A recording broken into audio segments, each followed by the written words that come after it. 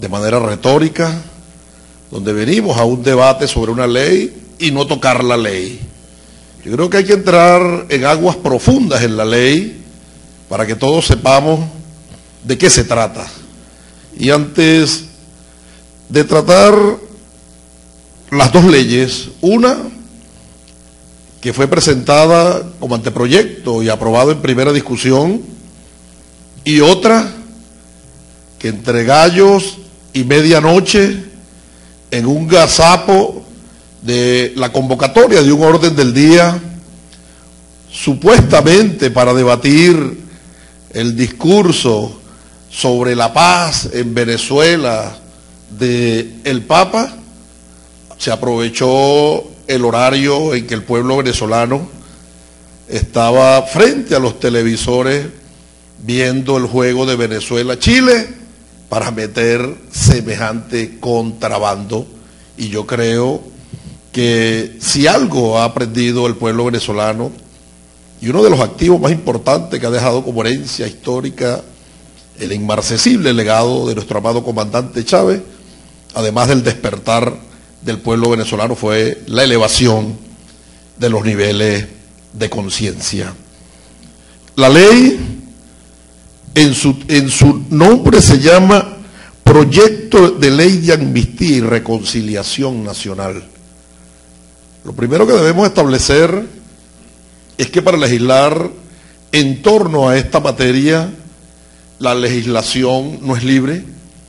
Existen una gran cantidad de instrumentos aprobados a la luz del derecho internacional público y del derecho internacional privado y además de una oficina que ha trabajado mucho esta materia por la preocupación que ha generado las aviesas intenciones de sectores en sociedades de este planeta de generar amnistía para a través de la amnistía soslayar el perdón y la impunidad. Y es la oficina del Alto Comisionado de Naciones Unidas para los Derechos Humanos. Se llama Instrumentos del Estado del Derecho para, para sociedades que han salido de un conflicto, específicamente amnistía.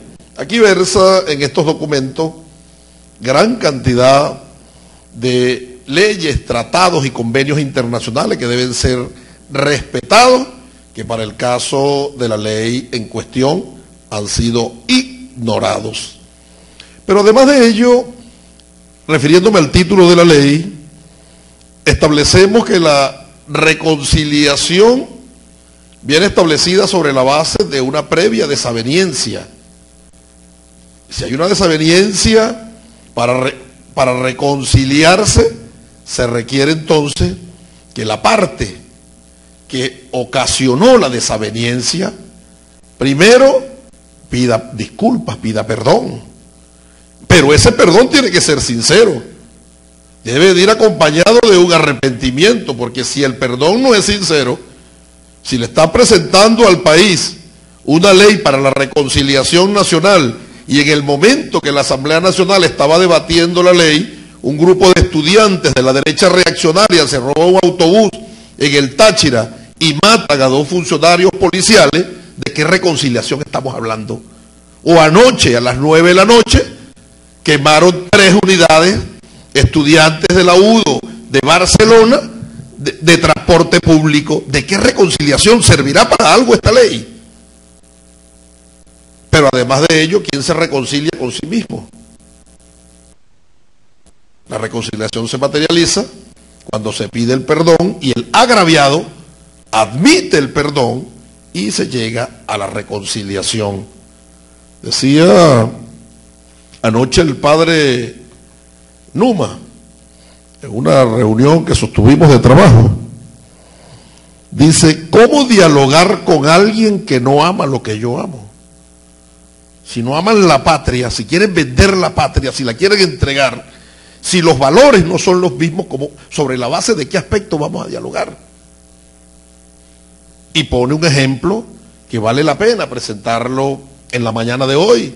Dos hermanos pueden tener una desaveniencia y ante una situación que se suscite en el seno de la familia, bien sea para la celebración de un matrimonio, un cumpleaños, un grado, menos hay un, eh, eh, eso objeta un encuentro y en el marco de ese encuentro los, los hermanos aprovechan que no se hablaban y se hablan y se logra reconciliación.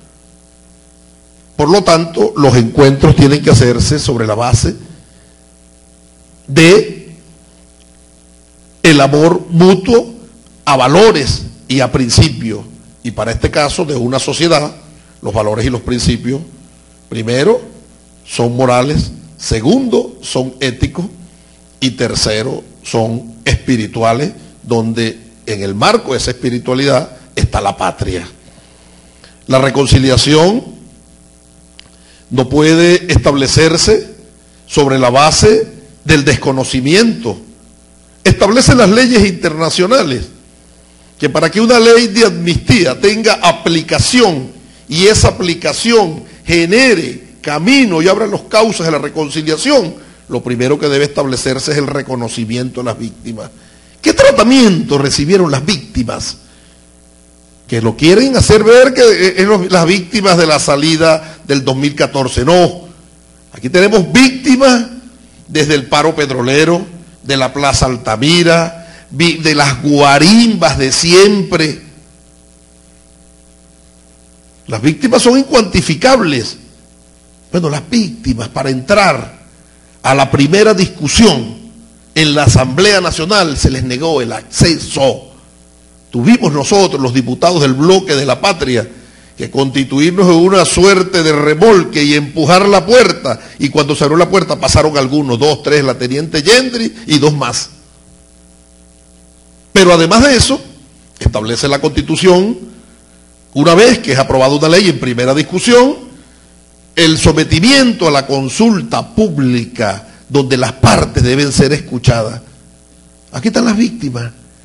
No los llamaron, no los escucharon y no aparecen reflejadas las víctimas ni en el primer proyecto ni en el sancionado por la Asamblea Nacional el pasado martes. Si no hay reconocimiento, ¿de qué reconciliación estamos hablando? Se van a reconciliar consigo mismos. Que haya amnistías malas y amnistías buenas. Sí hay.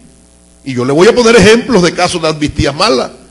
Para el caso de nuestro amado comandante Chávez, que emitió una ley de amnistía Chávez era la víctima, porque a él le dieron el golpe de Estado. Y la ley de amnistía, él perdonó a sus victimarios con esa ley de amnistía. Ah, que no todos salieron libres, porque el compañero presidente Chávez era respetuoso de la constitucionalidad, de la legalidad y del Estado de Derecho, y los que cometieron delitos de violación de derechos humanos, delitos de lesa humanidad,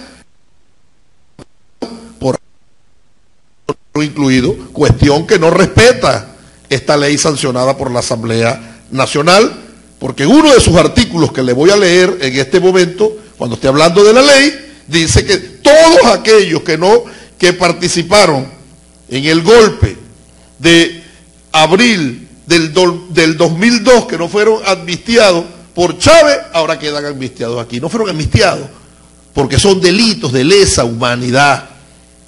Y además de ello, reitero, nuestro amado comandante Chávez era la víctima y la víctima perdonó a sus victimarios. Aquí no, aquí están los victimarios perdonándose a sí mismos. La ley del autoperdón, desconociendo a las víctimas y como si fuera poco entonces, ahora las víctimas, las víctimas pasan a ser los victimarios y las leyes de amnistía que deben resarcir a las víctimas y así lo establecen los protocolos internacionales, las leyes del el derecho internacional público y privado en materia de derechos humanos. No, no se resarcen a las víctimas aquí.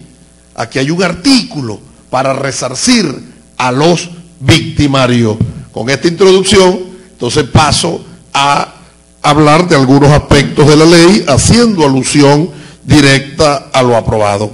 El instrumento de ley aprobado en primera discusión, ustedes saben, porque fue un hecho comunicacional público y notorio y de amplia difusión discusión establecía aberraciones tan graves como el que fue sancionado, pero con el, irrespeto